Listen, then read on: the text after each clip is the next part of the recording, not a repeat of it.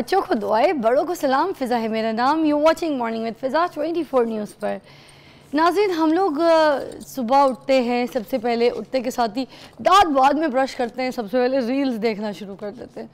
हम लोग अल्लाह का नाम नहीं लेते उठते के साथ ही कोई ऐसी बात या फिर यू नो अपना ताल्लुक़ पहले, बल्कि अब जैसे ही उठे, आँख खुली, आपके बिस्तर पे लेट के थोड़ी खुमारियाँ होती हैं, हम कभी इस तरह की हरकत नहीं करते कि अल्लाह से अपना ताल्लुक़ ज़रा स्ट्रॉन्ग करें, बात करें, क्योंकि अल्लाह मियाँ को बहुत पसंद है अगर हम उनके साथ बातें किया करें और करनी चाहिए हमें। मगर हम अपने इस वक्त को जो है ऐसा ज़ाया करते हैं कि ना हम अल्लाह से ताल्लुक़ रखते हैं ना हमारे साथ सोया हुआ, चाहे वो शोहर हो चाहे बच्चे हों, ना उनको मुँह लगाते हैं ना उनसे पूछते हैं कि भाई और बताओ, ये बताओ, वो बताओ। किसी के पास कोई टाइम नहीं है। इसलिए नहीं, मुझे अच्छा एक बड़ी बात है, गीबतें भी ख़त्म हो गई हैं। पहले बड़ी गीबतें होती थी, चुगलियाँ होती थी, वो तक ख़त्म हो गई। अब तो लोगों को बस इसका भी टाइम नहीं है। Why because everybody is watching reels सुबह उठते के साथ ही बिस्तर पे कोई घंटा लगा देते हैं रील्स रील्स रील्स रील्स ये बस ये उंगली और ये। ठीक है? ये जो यूट्यूब की शॉर्ट रील्स है, वो देख लें टिकटॉक की रील्स देख लें इंस्टा फेसबुक एवरीवेयर जो ये रील्स का इस्तेमाल है ना, ये जो शॉर्ट वीडियोस है, ये बहुत ख़तरनाक हैं। देखें एक सेकंड के अंदर, जो थर्टी सेकंड के अंदर वो जो आप एक रील देख रहे होते हैं, ठीक है? उसमें अब एक रील ने आपके दिमाग में जो तासुर पैदा करना है, उसके बाद वो फिर दूसरी, फिर वो तासुर, फिर तीसरी, वो तासुर, फिर चौथी। इसी तरह हम पता नहीं कितनी रील्स देख लेते हैं, हमें कोई एक चीज़ तो याद नहीं रहती। जो पिछली पाँच या पिछली तीन है, वो तो मैं भूल जाती हमने देखा क्या था, ये सीखा क्या था, ये समझ के आई है हमें। क्यों? क्योंकि हम तो भागे जा रहे रील्स देखे जा रहे देखे। कोई हम कुकिंग के ऊपर देख रहे हैं, कोई हम गाने के ऊपर देख रहे हैं, कोई किसी की हम स्लोमो देख रहे हैं। कोई किसी का रेसिपी देख रहे हैं, कोई किसी का फ़ैशन देख रहे हैं। तो मतलब हम कर क्या रहे हैं? हम तो किसी चीज़ में एक जगह यू नो नॉर्मल ही नहीं है। अब इससे हमारे जहन पे क्या असर पड़ता है?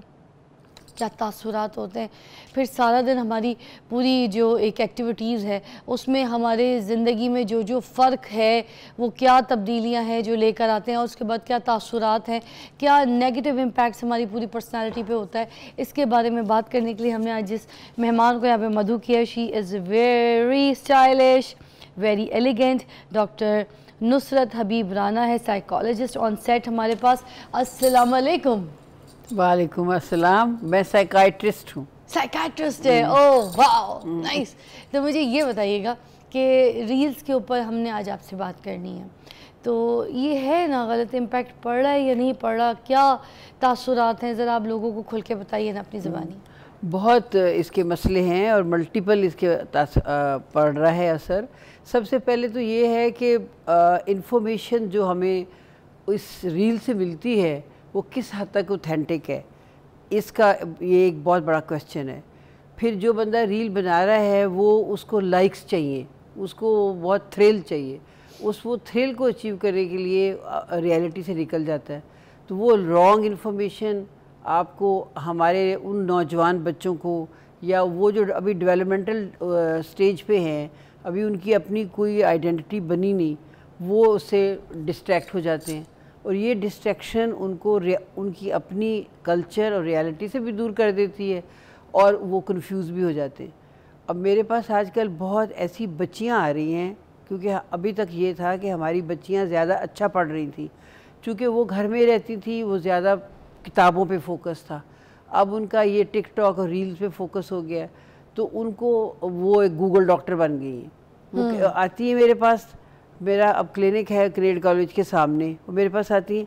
मैं मैं तो मुझे ईटिंग डिसऑर्डर है।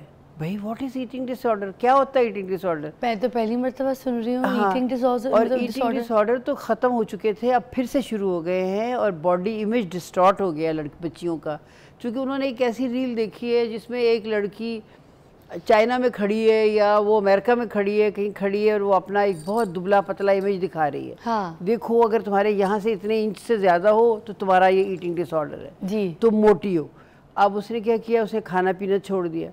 खाना पीना छोड़ने से एक बहुत ज़्यादा एक एक कॉम्प्लेक्स लॉन्ग टर्म मैनेजमेंट वाला एक साइकोलॉजिकल इशू बन जाता है।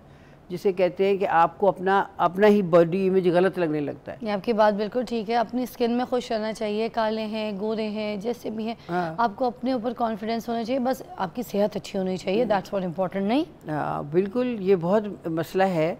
दूसरी बात यह कि हर कल्चर में एक शेप है उसका अपना एक स्टाइल है। अब लोगों की अब आप अफ्रीका के लोगों को देखें या यूरोप के लोगों को या एशिया के लोगों को उनके मुख्तलिफ़ स्ट्रक्चर्स हैं। तो वी शुड बी इन जैसे, स्टेट की जहाँ हम एंजॉय करें बांग्लादेश में थोड़ा सा टैन वीटिश कलर है ठीक है।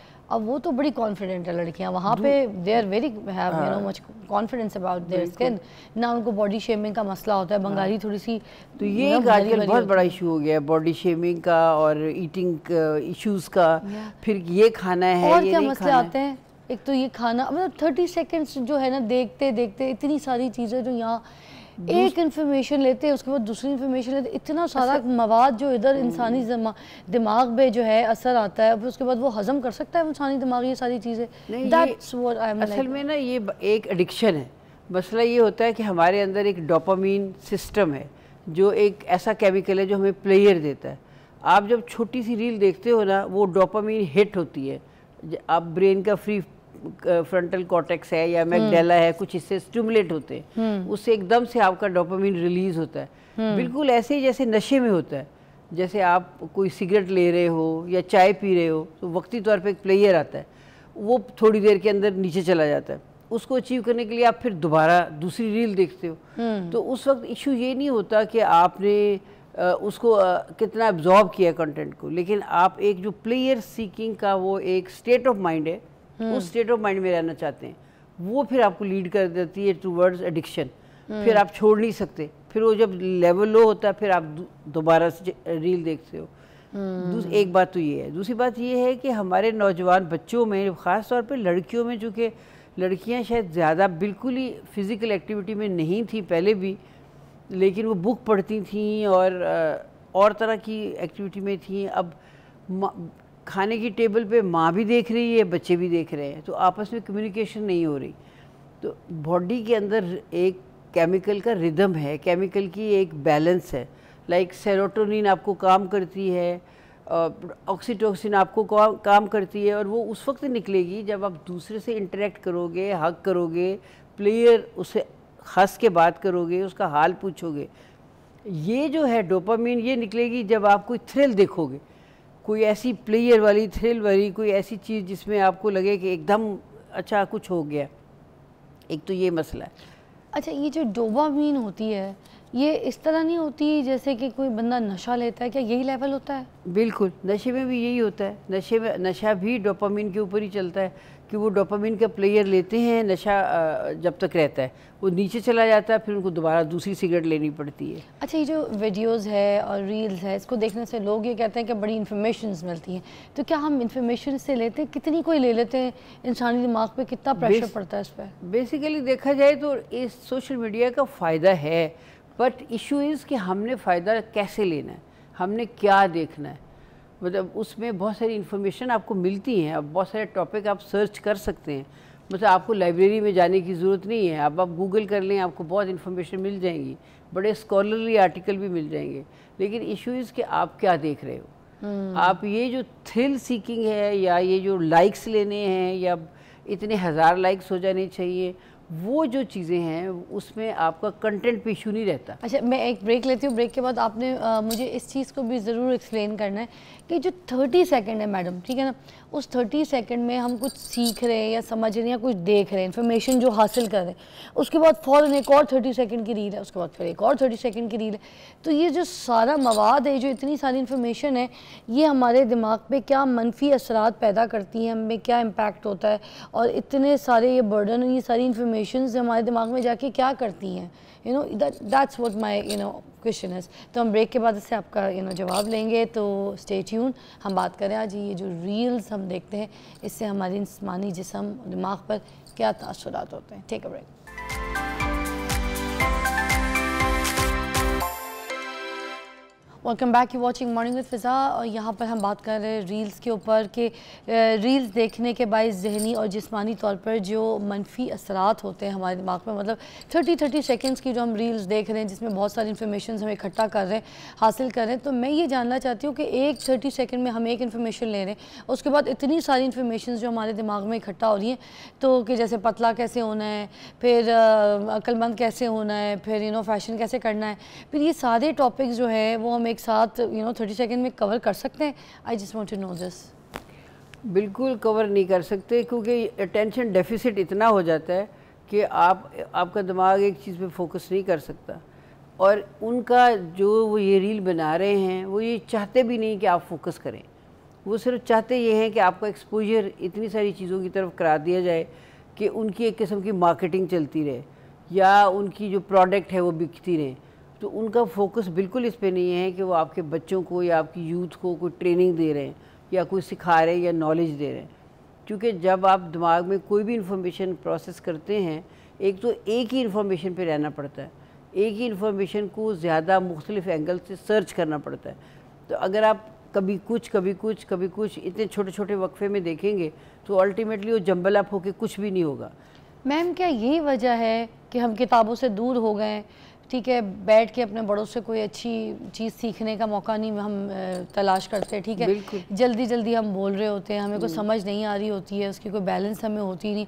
उनको भी सामने वाले को कहते हैं प्लीज़ जल्दी बोलें क्या काम है? जल्दी बता दें बिल्कुल तो ये, ये हम इसी वजह से दूर हो गए किताबों हाँ, से सब चीज़ों एक ब्रेन को आदत पड़ गई है एक आपकी वही ना वो जो डोपामिन हिट की आदत हो गई है। थोड़ी देर के बाद आपको हिट चाहिए थोड़ी देर के बाद हिट चाहिए इसलिए आपको ये पत, आप जल्दी जल्दी बोलते हो, आप लंबा, लंबी मूवी तक नहीं देख सकते, किताब पढ़ना तो दूर की बात। कि और इन्फॉर्मेशन बहुत सारी जो हैं, वो किताबों से ही मिलनी चाहिए इन डेप्थ किसी भी स्कॉलरी सब्जेक्ट पे आप बात कर रहे हैं तो आपको बहुत सारे आर्टिकल देखना पड़ते हैं, बहुत सारा पॉइंट ऑफ़ व्यू लेना पड़ता है। उसके लिए टाइम चाहिए कंसंट्रेशन चाहिए, एक लंबा बैठ के उसके ऊपर बहुत सारी पॉइंट ऑफ़ व्यू देखने चाहिए। उससे हम निकल गए। बच्चे तो बिल्कुल ही निकल गए उसमें से। और फिर अल्टीमेटली क्या होता है कि इससे एक मेमोरी लॉस भी हो रहा है। चूँकि आपने अपने दिमाग को ये आदत बना ली है कि इतना जंबल आप इंफॉर्मेशन दे रहे हैं कि long term memory memory retention में प्रॉब्लम हो रही है। मैम अब हमें आदत पड़ गई है। अब अब ये पूछना है सवाल ये है कि अब जो सोसाइटी है उस पर क्या इम्पैक्ट पड़ता है? मतलब उनका नज़रिया क्या हो सकता है? सोसाइटी पे सबसे पहले तो ये बहुत बड़ा इम्पैक्ट है कि जो कम्युनिटी लिविंग थी हमारी कि हम एक दूसरे के साथ रिलेटेड थे हमारी अपनी इकोलॉजी है हमारी अपनी रियलिटी है उसके साथ हम लिंक थे वो लिंक ख़त्म हो गया। और हर बच्चा जो है हर इंडिविजुअल अपने मोबाइल के साथ है। तो जो इंटरपर्सनल रिलेशनशिप थे वो कम हो गए। उससे एक बॉडी का माइंड का और कम्युनिटी का बैलेंस ख़राब हो गया। है सबसे बड़ी बात तो ये है। हाँ। दूसरी बात ये है कि बहुत सारी चीज़ें जो आप दूसरों से सीखते हो अपने कल्चर के अंदर रहते हो मतलब मेरे मुल्क में इस वक्त गर्मी है कि ठंड है और वो जो मुझे टिकटॉक वाला दिखा रहा है उसके यहाँ क्या है? तो वो मेरी एक कन्फ्यूज़न है कि मैं यहाँ रिलेट नहीं कर पा रही और वो मेरा है नहीं तो वो एक कन्फ्यूज़न है। उस कन्फ्यूज़न में ये होता है कि आप अपने आप को बहुत लोन और कटे हुए महसूस करते हो। अब ये जो, जो आपको डिप्रेशन और एंजाइटी की तरफ़ लेके जाता अच्छा। है बल्कि सुसाइडल टेंडेंसीज बढ़ गई हैं। मेंटल हेल्थ के बहुत सारे ऐसे इशू जो ख़त्म हो गए हुए थे वो दोबारा शुरू हो गए। लाइक यही जो है अटेंशन डेफिसिट है। अब ये वन परसेंट ऑफ़ द बच्चों को होता था। अब हर बच्ची आती है और कहती है जी मुझे अटेंशन डेफिसिट है। मैं तो अपना एक पूरा सब्जेक्ट जो है ना पढ़ नहीं सकती। अपना एक पीरियड क्लास का मैम अब हम मैं कह रही थी कि सोल्यूशन की तरफ़ भी आते हैं कि आप बताइए फिर अब ये क्या सोल्यूशन है? मतलब अगर हमने हम ट्रेंडिंग की दौड़ में पढ़ भी गए हैं हम देख भी रहे हैं रील्स भी देखनी है तो किस टाइम तक कितनी कोई रील्स और क्या टाइम मतलब उसके लिए सेट करना चाहिए हमें कि इतनी देर तक हम इस तरह की शॉर्ट वीडियोज़ और रील्स देख सकते हैं? It's on trending as well क्योंकि अपने आप को प्लेजर देने के लिए बस हम we are on you know watching reels every time or relax करने के लिए। हम रिलैक्स करने के लिए ऐसे टांगे सीधी भी करते हैं तो बस वी आर ऑन रील्स या we watching reels and we think कि हम बहुत कुछ इन्फॉर्मेशन हासिल कर, कितनी देर तक देख सकते हैं? मैम, ये कितना टाइम पीरियड जो है हम इस्तेमाल कर सकते हैं रील्स देखने का? आ, कोई बात नहीं आप काट दें। तो ये हम जानेंगे भी मैम से कि हमें किस टाइम तक जो है अलाउ होता है हम देख सकते हैं ताकि हमारे जो जिस्मानी और आ, हमारे जो दिमागी हालात हैं वो थोड़े से बेहतर हैं। जी मैम सॉल्यूशंस की तरफ़ आते हैं। सबसे पहले तो इसमें पेरेंट्स को और स्कूल्स को इन्वॉल्व करना पड़ेगा। अब डिपेंड करता है कि किस उम्र के बच्चे हैं। अब मसला ये है कि जो हमारी नई मदर्स हैं वो ये करती हैं कि वो बच्चों को मोबाइल पकड़ा देती हैं बहुत यंग एज में। और वो ज़ाहिर है वो छोटे बच्चे तो सिर्फ़ टिकटॉक की जो विजुअल, एक विजुअल किस्म की वो मेमोरी है, उसी को एंजॉय कर सकते हैं ना, वो सब वैसे तो आर्टिकल नहीं पढ़ सकते। वो उस पर लग जाते हैं। ये तो एक एज डिसाइड होनी चाहिए कि इस एज से पहले बच्चों को टिकटॉक से एक्सपोजर ही ना दिया जाए। दूसरी बात ये कि जब वो स्कूल जाएँ, स्कूल के अंदर सिर्फ़ ग्रेड्स का इशू ना हो कि जी तुमने ए प्लस लेना है। पूरी होलिस्टिक उसकी ट्रेनिंग होनी चाहिए होलिस्टिक अप्रोच होनी चाहिए टीचर्स की, बच्चे की पूरी पर्सनैलिटी डेवलपमेंट की तरफ़ उनका ध्यान होना चाहिए, जिसमें स्कूल के अंदर मोबाइल का इस्तेमाल ना हो। जब उनकी असाइनमेंट्स वो करें, पता चले कि ये असाइनमेंट्स उन्होंने वहीं बैठ के किए हैं आर्टिफिशियल इंटेलिजेंस से या इधर से उधर से गूगल से नहीं उठाई। उसमें स्कूल वालों को भी अपने पास साइकोलॉजिकल काउंसलिंग सर्विसेज़ रखनी चाहिए और बच्चों को ये गाइडलाइन देनी चाहिए कि किस तरह से आपने, अगर फ़र्ज़ करें एडिक्शन हो गई है तो कैसे डील करना है? अगर आप अभी एडिक्शन में नहीं गए इसकी और ज़्यादा टाइम लगा रहे हो तो टाइम को कैसे कम करना है? बस मेरे पास आजकल बच्चियाँ आ रही हैं जो, जिनको प्रॉब्लम ये हो रही है कि वो टॉपर्स थी अब वो फेल हो रही हैं। तो वो क्या है? उनको हमने समझाया कि देखो बेटा नोटिफिकेशन बंद करो। इनकी नोटिफिकेशन हर वक्त आपको नहीं मिलनी चाहिए। और सोने से दो घंटे पहले फ़ोन को दूसरे कमरे में छोड़ो स्टडी रूम में छोड़ो बेडरूम में साथ ले लेके ना आओ। अपनी बायोलॉजिकल क्लॉक को जो है उसको आ, उस पर फोकस करो वरना तुम्हारे स्लीप इश्यूज़ हो रहे हैं। जब तुम सोओगी नहीं ठीक से सुबह उठ के तुम पढ़ नहीं सकोगी क्लास में नींद आएगी। और एक्सरसाइज करें क्लब जाएँ पार्क में जाएँ पेरेंट्स के साथ खाने की टेबल पे ये हर घर में होना चाहिए कि खाने की टेबल पे बिल्कुल फ़ोन यूज़ ना हो, ना पेरेंट्स का, ना बच्चों का। जब खाना खाने के लिए आए तो अपने फ़ोन कहीं दूर रख के आएँ, क्योंकि इंटरेक्शन से एक, देखिए ना, अब क्यों डायबिटीज़ बढ़ रही है? डायबिटीज़ तो बड़ों में भी बढ़ रही है, क्योंकि बैठे हुए हैं, बैठे हुए हैं और इस पर लगे हुए हैं। आपके पेनक्रियाज को मूवमेंट चाहिए। इंसुलिन की डेवलपमेंट के लिए निकलने के लिए उसकी सिक्रीशन के लिए मूवमेंट चाहिए। तो फ़िज़िकल एक्सरसाइज है ही नहीं। तो सारे इस पे लगे हुए हैं बच्चे भी बड़े भी। तो ये चीज़ें हैं कि इसकी टाइमिंग्स करनी पड़ेगी उनको गाइडलाइंस देनी पड़ेगी। स्कूल में काउंसलिंग सर्विस हो और पेरेंट्स इस पर नज़र रखें और पेरेंट्स कुछ मतलब और कोई टाइम ऐसा हो जो फैमिली टाइम हो। फ्रेंड्स का टाइम हो। Thank you so much Nusrat ji आपने बहुत अच्छी तरीके से हमें गाइड किया और आखिर में मैं भी आपसे रिक्वेस्ट करना चाहूँगी कि ठीक है रील्स इज़ ऑन ट्रेंडिंग आपने ख़ुद बनानी भी है, करना भी है। एक टाइम सेट कीजिए, अपने सोशल मीडिया पे, अपने इंस्टा पे, अपनी टिकटॉक पे जाके देखिए कि आपका बेस्ट टाइम क्या है।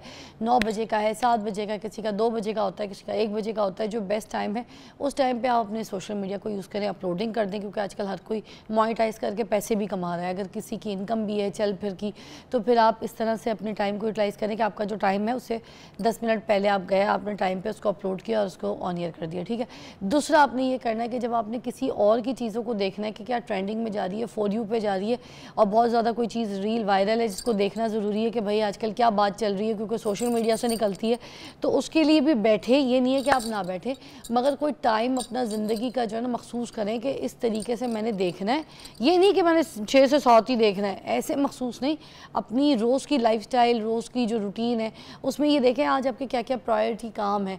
मतलब जब पेरेंट्स फैमिली के साथ बैठे हैं, जैसे कि यहाँ पर नुसरत जी ने भी कहा कि फैमिली के साथ बैठे हैं तो वहाँ पर फ़ोन यूज़ ना करें, खाने के टेबल पे तो वहाँ पर फ़ोन यूज़ ना करें। इस इस तरीके से जो क्वालिटी टाइम लोगों के साथ है, उनके साथ इंट्रैक्ट कीजिए। जहाँ इन्फॉर्मेशन आपको लगता है करने के लिए आपको बहुत फ्री टाइम है तो चले आप अपना यूज़ कर लें। बट नॉट लाइक सुबह से रात तक बस पर बैठे हैं ट्रैवल कर रहे हैं बाइक पर जा रहे हैं टिकटॉक देख रहे हैं, ये ये चीज़ें यार प्लीज़ अवॉइड प्लीज़ अवॉइड अपनी ज़िंदगी को अपने जहनी दिमाग को थोड़ा सा सुकून दीजिए स्पेस दीजिए और फिर ये बाकी चीज़ें जो है ना इंजॉय कीजिए। और see after short break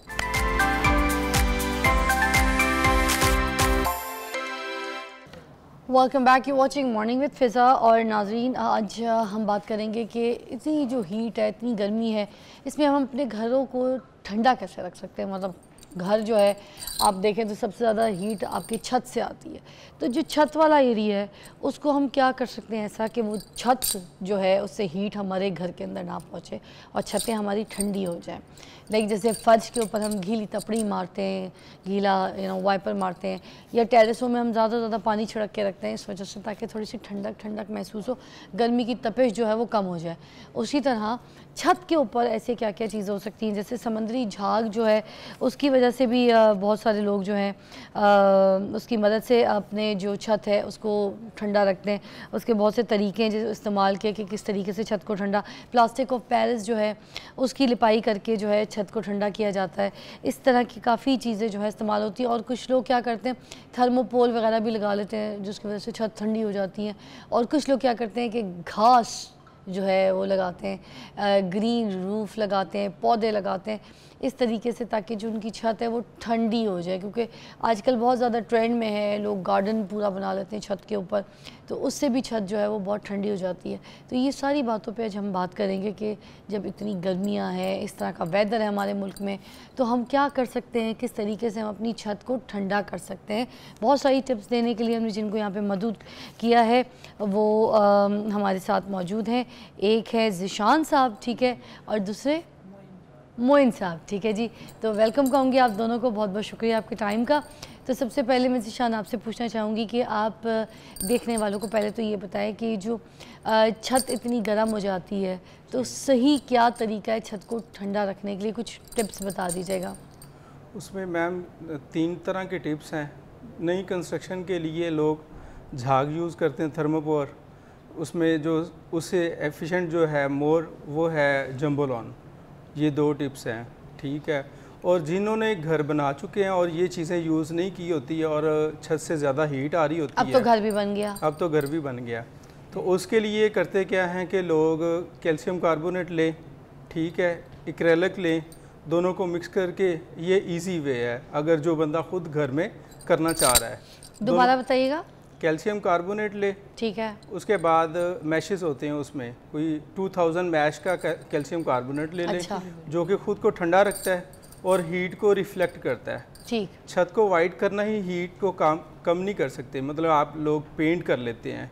तो पेंट भी हीट को ऑब्जॉर्व करता है। जितना अच्छा वो मैश होगा कैल्शियम कार्बोनेट का वो हीट को ज़्यादा रिफ्लेक्ट करेगा और ख़ुद को ठंडा रखेगा। वो आप इक्रेलर के साथ मिक्स करें।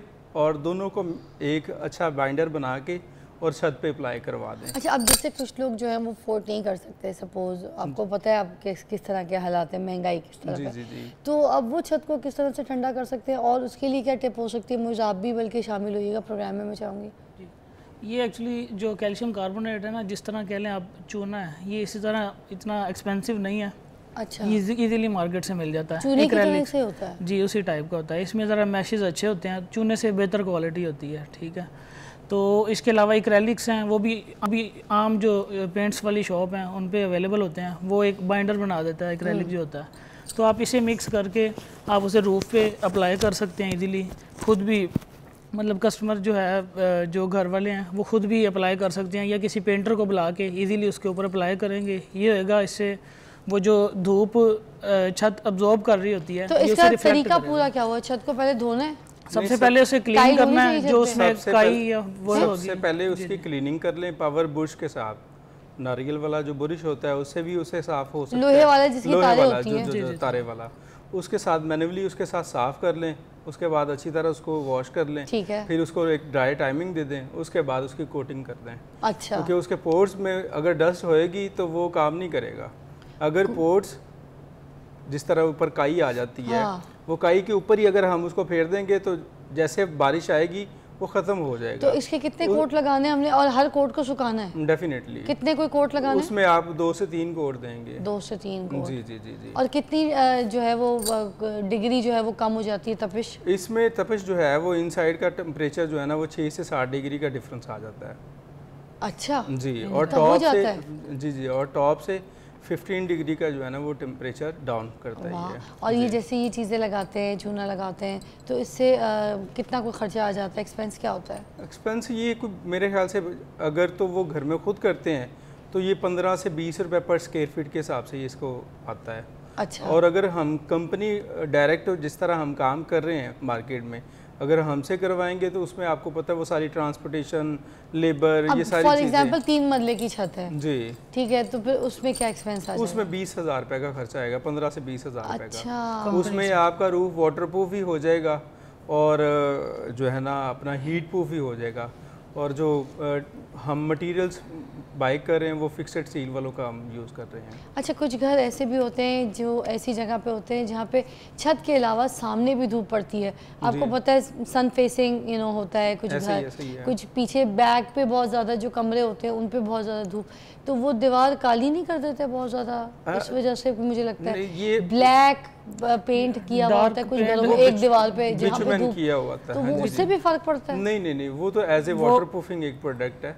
वो अच्छा, हीट हाँ। को हाँ। ऑब्जॉर्व करती है एक्चुअली अगर वो बिचुमन जो उसकी कोटिंग करते हैं वो हीट को ऑब्जॉर्व करती है उससे दीवारें ज़्यादा गर्म होती हैं। ज़्यादा गर्म हो जाती है। फॉर एग्जांपल अगर टेम्परेचर चल रहा है 35 तो उसमें 45 आएगा वो वॉल का मजीद अच्छा तो मुझसे फिर दीवारों का क्या हाल है ये भी बता दें? दीवारों पे कुछ दीवारों पे तो दीवारों के लिए जो जो प्रोडक्ट है हमारा ये ये वेलकूल का ये डायरेक्ट आप उसके ऊपर अप्लाई करवाएँ दीवार के ऊपर तो एक तो आपकी दीवार वाटरप्रूफ भी हो जाएगी और वाइट होने से ये रिफ्लेक्ट भी करेगा हीट को। तो वो क्या केमिकल्स क्या होते हैं? मतलब किस किस्म के कि लोग अगर अपने घरों पे लाना भी है तो मैं चाहूँगी कि वो ले आए। तो इस ऐसे केमिकल्स ये हमें बता भी दें। ये बकेट होती है 20 के जी की बकेट होती है और 9000 में ये सेल हो रही होती है मार्केट में अच्छा। जी। किसी भी ब्रांड के लिए किसी भी आप मास्टर की भी है वेलकूल की भी है सही है। नहीं नाम ना लें कंपनी का मगर मतलब ऐसे बता दें डिफरेंट कि मतलब इस तरह के बहुत से कंपनीज़ है है जी जी जी जी जी ठीक है। जी। अच्छा तो वो लगा दें तो फिर उससे दीवार जो है वो, वो भी आपका दीवार प्रूफ हो जाएगी। हीट प्रूफ भी हो जाएगा और वाटर प्रूफ भी हो जाएगा। आपको अच्छा। बिचमन की तरफ़ जाने की ज़रूरत अब ये हमने लगाना किधर है? ये तो एक घर का जो अंदर वाला हिस्सा है उस वॉल पे? नहीं, ये जो बाहर का एक्सटीरियर है हाँ? डेड वॉल पे। फ्रंट पे बाहर। हाँ जी जहाँ से धूप पड़ रही है एक साइड पे आपका घर बना हुआ है दूसरी साइड पे जहाँ पे हम वेदर शीट वगैरह इस्तेमाल करते हैं उस वाली ये हाँ ये बेसिक उधर ही यूज़ होएगा हाँ अच्छा और अगर घर की फ्रंट फेसिंग पे धूप पड़ रही है ठीक तो है। उसके हिसाब से तो हमारा एक्सटीरियर भी बहुत इंपॉर्टेंट है एक्सटीरियर के ऊपर आप एक स्नो कलर्स करें ना डार्क तरफ़ जाएँ। डेफिनेटली जो डार्क होएगा वो हीट को ऑब्जॉर्व करेगा। आप अच्छा। चूज़ करें स्नो कलर्स जो कि अच्छा। हीट को ज़्यादा ऑब्जॉर्व ना करें। और कोई ऐसी इसके बाद भी कोई कोटिंग अगर कोई चीज़ है जो हम लगा लें जो बाद में रंग भी उसमें नई नहीं उसमें नई कंस्ट्रक्शन होए तो उसके अंदर वो आप थर्मोपोल यूज़ कर सकते हैं। उसकी कैविटी बनती है कुछ चार इंच में आप दो इंच में वो डालते हैं। उसके साथ ही जो है ना अपना आगे प्लस्तर करें तो वो हीट को ऑब्जॉर्व नहीं ज़्यादा करेगा। आप कोई सा भी ऊपर पेंट करवा लें हीट आगे ट्रेवल नहीं करने देगा जो अब जैसे घर बन। गया पुराना घर है उसमें थर्मामोल की थर्मापोल की शीट डाल सकते हैं? नहीं नहीं नहीं वो इस तरह नहीं होएगा। पुराने घर में? पुराने घर में नहीं होएगा। क्यों? घर के लिए सिर्फ़ पुराने घर के लिए जो है वो फ्रंट एलिवेशन के ऊपर जो आप कहना चाह रही हैं ना वहाँ से तो हीट ने एक आना ही आना होता है। अच्छा। लेकिन हम मेजर जो होता है पार्ट होता है वो लेंटर होता है रूफ का। रूफ से ज़्यादा हीट आती है वहीं से फिर अब्जॉर्व ज़्यादा होता है और टेम्परेचर अगर फॉर एग्जांपल 44 है तो वो 55 पे चला जाएगा अच्छा। क्योंकि। लेंटर के अंदर हीट ज़्यादा जमा हो जाएगी ना दीवारों में इतना नहीं ज़्यादा होती है वो जस्ट वो आप जब तक वो पड़ रही होती है तब तक ही हीट होती है उसके बाद इतनी ज़्यादा नहीं अच्छा कुछ लोग सीलिंग ज़्यादा नीचे कर लेते हैं उससे भी फ़र्क आ जाता है। वो है ना उससे भी उसके बीच में गैप का काफ़ी कर देते हैं उससे भी तो फ़र्क पड़ता है उससे भी फ़र्क पड़ जाता है हाँ जी अच्छा प्लास्टिक ऑफ़ पेरिस भी तो छत पे इस्तेमाल किया जाता है। वो किस तरीके से इस्तेमाल किया जाता है? वो भी हीट को मतलब कम करने के लिए वो इस्तेमाल किया हीट को जाता है। कम करने के लिए चूने से बेहतर रहता है? जी चू, चूना भी एक प्लास- प्लास्टिक पैरस है। आगे इसकी जब वो मैश बनते हैं ना तो चाहिए कि वो मैश जो है ना वो हाई जो है ना ऊपर अच्छे मैश यूज़ होने चाहिए हाई लेवल के ऊपर अल्ट्रा होना चाहिए। ना कि वो नहीं एक चूना जो आप मार्केट से जो प्लास्टिक पैरस के अंदर उसके अंदर यूज़ हो रहा है वो नहीं वो अच्छा। होते ये सस्ते ही हैं वो इतने एक्सपेंसिव नहीं होते हैं अच्छा और ये हाँ। भी। सही रहता है जी, जी, है ना जी। अच्छा जी ब्रेक लेते हैं ब्रेक के बाद हम जब दोबारा आपको ज्वाइन करेंगे तो हम ये पूछेंगे कि छत के ऊपर जो पौधे लगाए जाते हैं वो कितने बेहतर होते हैं हीट प्रूफ के लिए back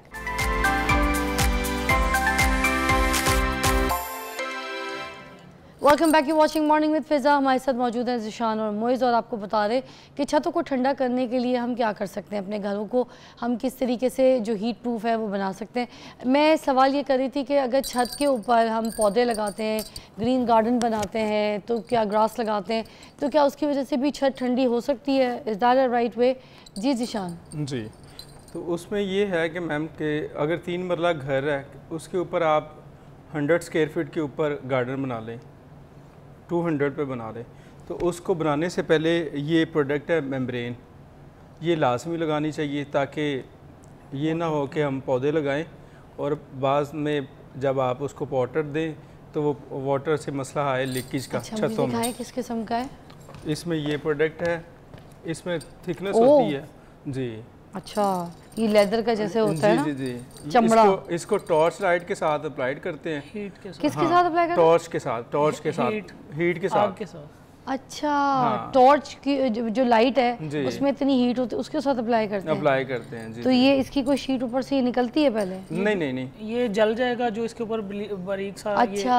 ये पॉलीथीन है ये अच्छा, जल अच्छा, जाएगा। अच्छा, अच्छा। ये चिपक जाएगी मतलब चिपक जाएगा उसके साथ। तो ऐसे ज़मीन पे रख के तो आपने टॉर्च किया हाँ। तो ये उसके साथ स्लेब में जो है चिपक जाएगा राइट इस साइड से होएगा इस तरह ये अप्लाई होता जाएगा। अच्छा ठीक है ठीक है ठीक है इसके ऊपर फिर आप गार्डन बनाए। हाँ। गार्डन पे फिर आपको मसला नहीं आएगा वाटर प्रूफिंग का ना अच्छा। उससे भी जो है ना फिर रूफ एक तो और ये इस साइज़ में मिलता है? ये इसका साइज़ होता है तकरीबन कोई सवा तीन फुट ये चौड़ा होता है हाँ। और कोई थर्टी जो है ना लंबा होता है कोई सौ स्क्वायर फीट एक रोल करता है। अच्छा रोल तो की ये शक्ल में होता है। ये तीन मरले की छत पे इसका कितना को एक्सपेंस आ जाता है? सारी के ऊपर तो गार्डन नहीं बनेगा ना। हाँ। आपने वो जितना उसको यूज़ करना है मतलब कि 200 फुट यूज़ करना है और 500 फुट की छत 700 फुट की छत होएगी तो उसके ऊपर आप उसको हाफ़ बना लेंगे हाफ़ आप वैसे सीटिंग एरिया बना सकते हो। तो उससे जो हम्म। ये कंप्लीट ग्रास भी तो कर सकते हैं जैसे अगर इतना पूरा एरिया है तीन मरले का उसको हमने पहले पूरा कंप्लीट ग्रास कर दिया ताकि छत जो है वो ठंडी हो जाए। सही तो। उसके लिए भी तो फिर हम ये पूरी चीज़ों को कवर कर सकते हैं तीन मरले तो ये सात फुट सात सौ फुट के ऊपर ये अप्लाइड होएगा उसके ऊपर फिर आप इस तरह जितना मर्ज़ी आप तो इससे कितना डिग्री टेम्परेचर जो है वो कम हो जाता है? टेम्परेचर पे नहीं ये डाउन होएगा। ये उसको वाटरप्रूफ करेगा रूफ की प्रोटेक्शन के लिए ना। अब ये क्या पानी देते हो? हो गया ग्रास लग गई ग्रास से पहले वाला ये सारा सिनेरी फिर हमारा जो है वो छत छत ठंडी तो होगी ना? डेफिनेटली वो तो टेम्परेचर भी तो वो कितनी डिग्री कम होगी? वो तो वो होएगा पौधों से हो जाता है तकरीबन कोई छः से सात डिग्री इन साइड का ही वो डिफरेंस आता है क्योंकि आपको पता ही हीट काफ़ी ऑब्जॉर्व कर लेते हैं पौधे। और सेकेंड टाइम आप जब उसको पानी देते हो तो भी ठंडे हो जाते हैं। अब देखे ना हीट भी है नीचे मट्टी भी तो है। जी इंसुलेटर वो मड मड भी तो इंसुलेटर है मड भी तो हाँ हाँ। उसमें तकरीबन कोई तीन से चार इंच जो है ना मड की एक लेयर जाएगी। ठीक है। तो डेफिनेटली वो जो हीट आ रही है तो वो मड भी उसको कंट्रोल तो इसके बीच में भी क्या हम थर्मापोल लगा सकते हैं कि थोड़ी सी अ, हाँ आप हाँ, यूज़ और भी कम हो जाए? जैसे ये प्रोडक्ट लगा लें इसके ऊपर आप थर्मोपोर बिछा दें। उसके ऊपर फिर आप पॉलीथीन पॉलीथीन के ऊपर मड मड के ऊपर आप जो मर्ज़ी आप फिर कितना हो जाएगा? फिर तो एसी की ज़रूरत ही नहीं मुझे लगता है सारे ही कुछ इजी हो गया। नहीं? हाँ ऐसे ही ऐसे ही है। हाँ, अब तो सब कुछ ही कर दिया हमने। जी, जी। अब तो बहुत ज़्यादा हो जाएगी या नहीं? ऐसे ही ऐसे ही है। हो जाएगा। डबल हो जाएगी? डबल हो जाएगा डबल हो जाएगा। अच्छा अब इसके पैसे बताएँ कितना खर्चा आएगा? तीन मरले का आपने कंप्लीट बताना है। पर स्क्वायर फुट क्या हो जाएगा अगर तो पूरी छत के ऊपर गार्डन का काम ये करवाते हैं तो तकरीबन खर्चा जो है ना वो कोई सौ रुपये स्क्वायर फीट के हिसाब से ये सारा काम हो जाएगा। मतलब कि वो पूरा गार्डन बनाने तक? हाँ जी जी पूरा गार्डन बनाने तक। और अगर हम थर्मापोल भी लगा देते हैं फिर? थर्मोपोर उसमें यूज़ करते हैं तो उसके वो तकरीबन कोई समझ लें कि वो फोर्टी फाइव रुपीज़ आप और मज़ीद इसके अंदर एक सौ पैंतालीस रुपये में आपका पूरा गार्डन जी जी। विद थर्मापोल जी। तैयार हो जाएगा। तैयार हो जाएगा जी। अच्छा। तो आप मुझे ये भी बताइएगा कि जो पाँच मरले की जो छत है वो कितनी होती है? पाँच मरले के उसमें कवर्ड एरिया कईयों का कम होता है कईयों ने फोली पे ही बनाया होता है। एवरेज कोई लगा लें। कोई आठ सौ एरिया होता है आठ सौ नौ सौ। मतलब डेढ़ कोई लाख में ये सारी चीज़ें कवर हो जाएँगी? ये सारी चीज़ें पाँच मरले के जी जी जी जी। तो सुने ये तो बहुत अच्छा है। तीन लाख का तो कोई एसी आता है एक कमरे का। ऐसे ही और वो ही भी अब ब्रांड्स जो है वो बस क्या मैं तीन लाख के बाद फिर बिजली का जो बिल- बिल बिजली के तो बिल्स हैं वो कितने उस पे आते हैं। तो वो एक साल के साथ मल्टीप्लाई करें तो वो पैसे कहाँ से कहाँ चले जाते हैं। हाँ। तो अगर ये कर लेते हैं तो फिर आप खाली एक कोई बारह वाट पे सोलर लगा के पंखा ही चला ले तो भी चीज़ें चल सकती हैं। देखिए जी, अपने घरों को ठंडा कीजिए। जब अपना घर प्लान करें और जिस घर में आपने रहना है, जिस घर को अपना जन्नत बनाना चाहते हैं, आपके घर में बुज़ुर्ग हैं, बच्चे हैं, ख़ुद आप हैं तो आपने कोई मतलब हीटर के अंदर तो नहीं कमरा बनाया हुआ? अब ज़ाहिर सी बात है, गर्मियाँ इतनी पड़ रही हैं क्लाइमेट चेंज है, इतने सारे मसले हैं। थोड़ा सा दिमाग ना इस्तेमाल करें, अगर हम थोड़ा सा घर बना रहे हैं तो सही जगह पैसा लगा के हम अपने घर को जन्नत भी तो बना सकते हैं, एक हमारे अमाल से और कुछ इस तरह की हरकत से।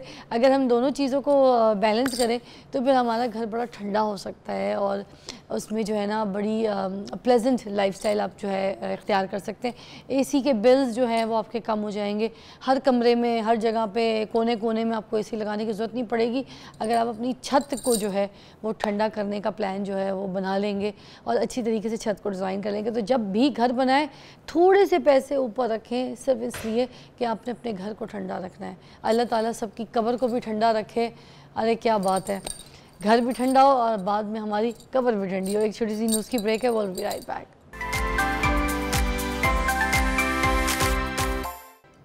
welcome back नाजीन ये विटी लैगो क्या होता है? किसी ने सुना है? फुलबेरी।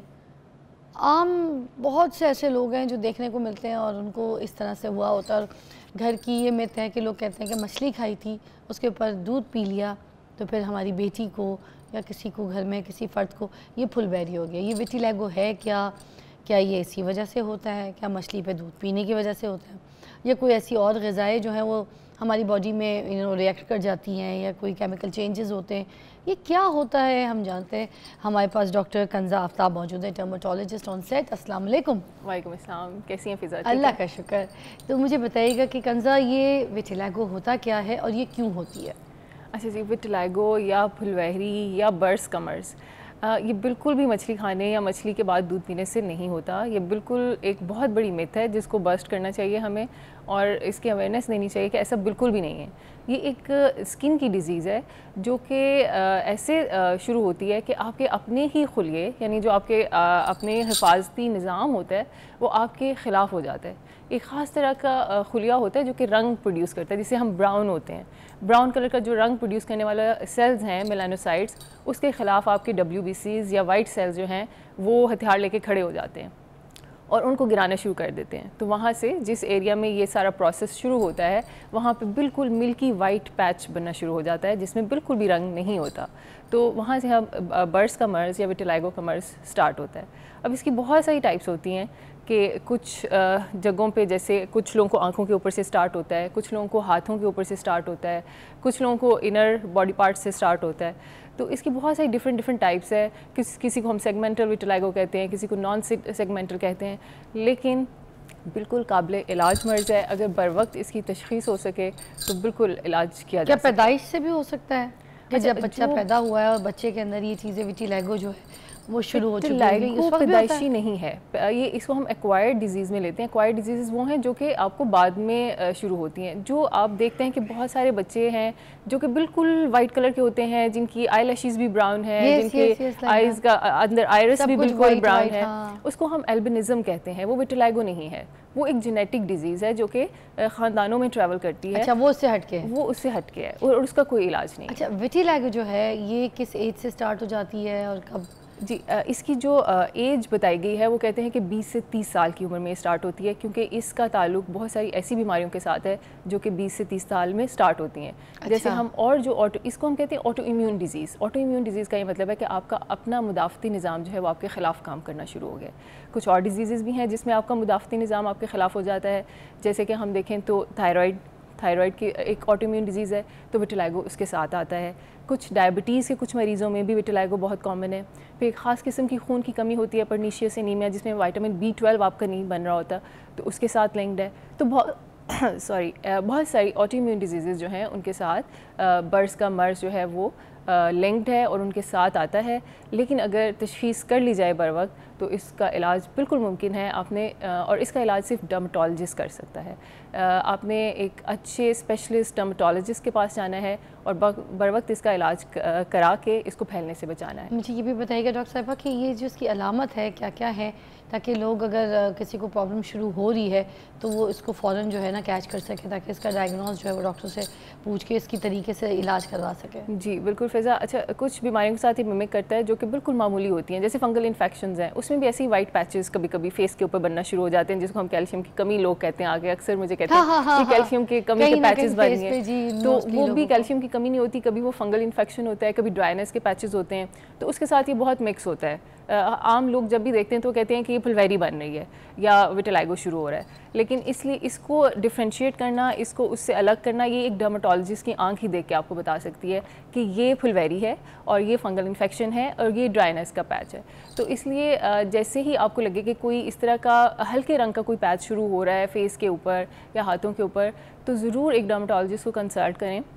उसका प्रॉपर एग्जामिनेशन करने के बाद आपको बताएँगे कि ये असल में क्या है। अगर तुसी फंगल इन्फेक्शन हुआ तो वो एक या दो दफ़ा की ट्यूब लगाने से ही ठीक हो जाएगा। ड्राइनेस के पैचेस मॉइस्चराइजर से ख़त्म हो जाते हैं लेकिन फुलवेरी का मर्ज जो है इसको लंबे अरसे तक इलाज की ज़रूरत होती है। तो इसके लिए कोई टेस्ट भी आप लोग रिकमेंड करते हैं जिसके थ्रू आपको पता चलता है कि भाई ये फुलवेरी है? नहीं फुलवेरी के कोई टेस्ट नहीं होते। फुलवेरी सिर्फ़ आँख से देख के आप बता सकते हैं। हम अपने मैग्नीफाइंग ग्लास में देखते हैं। और उसमें हमें पता चलता है, एक हमारे पास एक ख़ास किस्म का आयना होता है, जिसको हम वुड स्लैम्प कहते हैं, उसकी ब्लू कलर की लाइट होती है।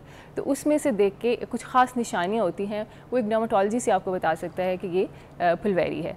इसके अलावा कोई ब्लड टेस्ट इसमें रिक्वायर्ड नहीं होते। ब्लड टेस्ट हम उसी वक्त कराते हैं, जब हमें लगता है कि किसी ऑटोम्यून डिज़ीज़ के साथ लिंक्ड है। जैसे मैंने अभी बात की थायराइड के साथ या डायबिटीज़ के साथ। या परनीशियस एनीमिया कुछ बाल झड़ के साथ भी इसका लिंक है। तो अगर हमें लगे कि ये किसी चीज़ के साथ लिंक्ड है तो फिर हम कराते हैं। अदरवाइज़ ये इडियोपैथिक या खुद ही से जनरेट होने वाली बीमारी भी है खुद से भी हो सकता है अलग से भी। फुल बेरी के क्या क्या इलाज हैं और किस तरीके के इलाज जो है वो मौसर हैं? प्लीज़ इसके बारे में बताइएगा। जी अगर तो फुलवारी अभी जस्ट स्टार्ट हुई है और बहुत पुरानी नहीं है और बिल्कुल लोकलाइज्ड एरियाज़ में है। लाइक अगर सिर्फ़ हाथों के ऊपर दो तीन पैचेस बने हुए हैं छोटे छोटे या आँखों के ऊपर तो सिर्फ़ हम लगाने वाली दवा से इसको ठीक कर सकते हैं। उसमें हम लगाने वाली दवाइयाँ देते हैं सुबह और शाम में। दो से तीन महीने में रंग वापस आना शुरू हो जाता है। मगर जैसे आप कही थी कि वो बॉडी जो है आपके उसके खिलाफ काम करना शुरू कर देती है यू नो ऑल दैट तो फिर वो तो अंदर से भी चीज़ें मसले में काफ़ी ज़्यादा। हाँ अब पूरी बॉडी काम नहीं कर रही होती। एक्चुअली वो एक खास पैच एक खास जगह होती है। हाँ तो वो ऊपर लगाने से ठीक हो जाएगी ठीक हो जाता है ठीक हो जाता है। लेकिन जैसे मैंने बात की अगर कोई इंटरनल डिज़ीज़ के साथ लिंक्ड है जैसे कि जिसमें आपकी पूरी बॉडी इन्वॉल्व हो रही है तो फिर फैलता है तेज़ी से। हम्म। उसमें फिर हमारी यू रेज जो हैं, हमारे गवर्नमेंट हॉस्पिटल्स में भी यू थेरेपीज़ अवेलेबल हैं। आपने जाना है, किसी भी गवर्नमेंट हॉस्पिटल में डामटोलॉजिस्ट अवेलेबल होते हैं यू यूनिट्स लगे हुए हैं, वो एक अलमारी सी होती है, उसमें आपको खड़ा कर देते हैं और उसमें से रेज़ निकलती हैं और उसके हफ्तावार इलाज कराने से दो से तीन महीने में आप बिल्कुल ठीक हो जाते हैं। और जो मेडिकेशन आप लोग देते हैं खाने के लिए, वो भी कुछ कारामद होती हैं?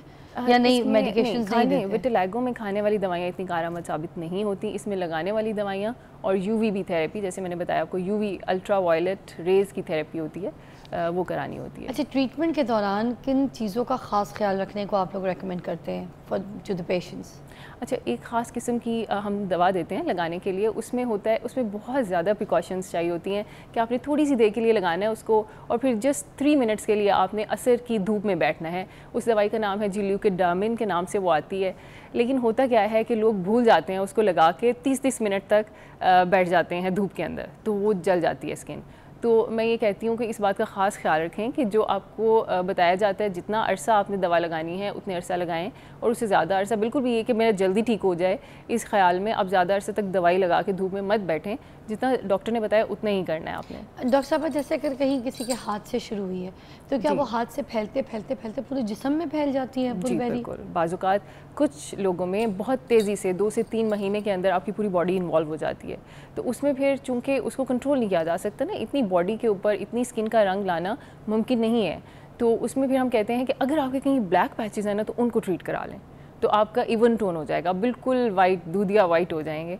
तो उसमें फिर अगर कहीं पे हो उसमें भी खास किस्म की दवा हम यूज़ करते हैं कि अगर फेस के ऊपर कोई ब्लैक स्पॉट्स रह गए हैं तो उनको ख़त्म कर दिया जाए ताकि इवन टोन में आ जाए। मतलब वाइट को ट्रीट करने की वजह हम ब्लैक को ब्लैक को ट्रीट करते हैं ओके क्योंकि इवन टेक अ ब्रेक हम यहाँ पे डॉक्टर कंजा से मज़ीद पूछेंगे फुलबेरी के बारे में तो आप हमारे साथ रहिए